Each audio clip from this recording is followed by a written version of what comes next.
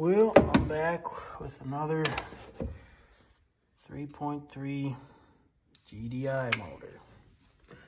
This time, all bolts fell out of the intake cam.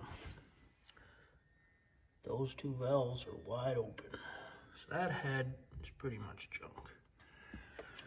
But I just did a new motor in a Kia that had the 3.3 in it. And the bottom end seized up. But it had good heads on it.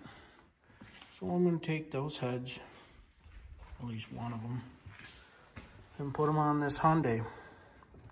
Hopefully that's all she needs. We'll see. All right, so we got the head out. Somebody's actually done this head before. You can see the Scotch-Brite whiz wheel marks on there. But those are the two bent valves.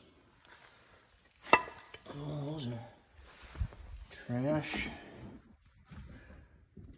Just put a little mark on the piston. I think that'll be fine. It's not too bad. But uh, those pistons actually relatively clean. So yeah, I'll clean that up and uh, stick this other head on there and get her back together. Alright, so we got the heads back on. We got the uh, timing chains all timed. And just cleaning off the timing chain cover sealing surfaces.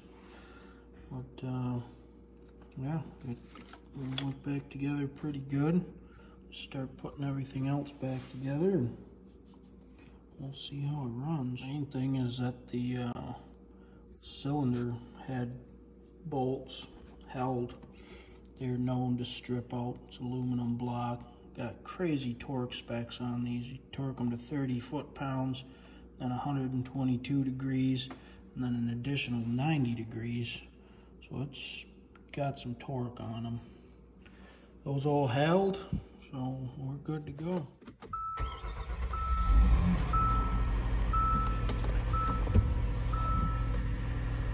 Alright, so we got the uh, Hyundai up and running, but the uh, four-wheel drive isn't working.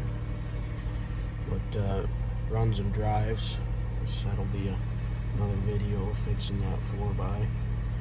But yeah, as far as the motor goes, it uh, works pretty good. So, accomplished that. Should be a nice little rig.